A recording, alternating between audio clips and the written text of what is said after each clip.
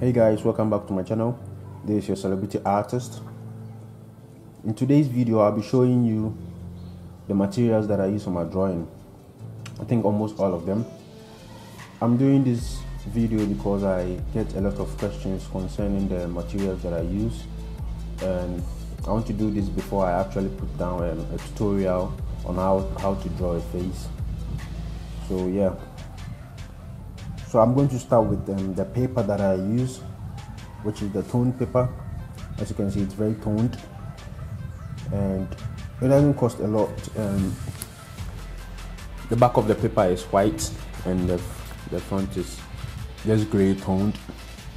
Actually sometimes actually use white paper to draw and it's also very nice to draw on white paper but sometimes it is time consuming um, so I chose to draw the celebrities on the tone paper and I choose to draw them do my commission works on the white paper which is very nice and people love it.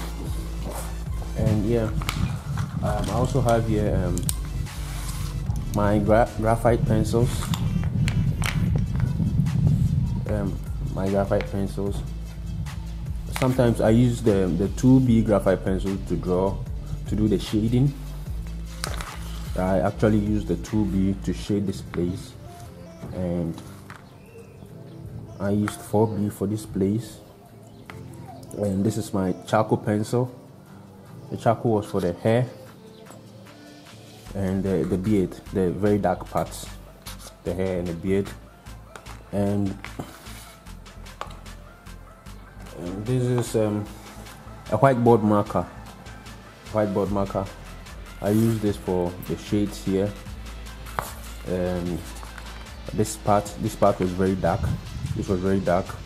And the eye it was very dark so I used the whiteboard marker for that and my white charcoal pencils which is for the highlights. For the highlights yeah. The white charcoal for the highlights. Okay and I have here a black ballpoint pen. Um, this is actually not not very important, but I sometimes use it for some some few parts on the face. Yeah. Now I have here um, my colored pencils.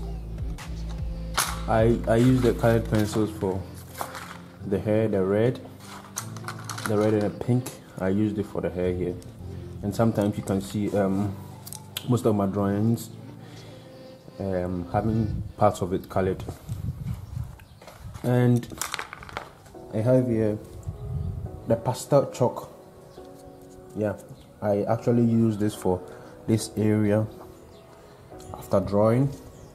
It makes it looks very nice. I had yellow in it and I think it's getting finished. I have to get new one.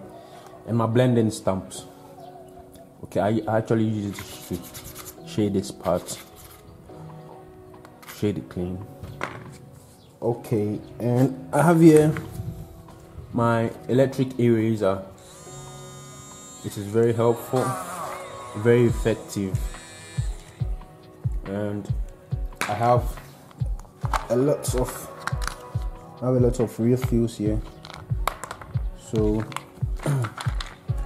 when this gets finished when it gets finished you can just replace it the new one.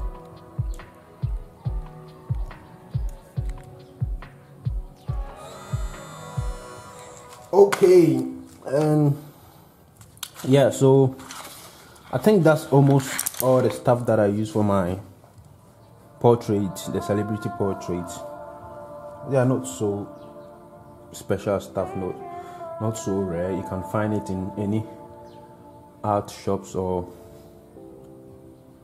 um, yeah. If you have any questions you can put it on the comment.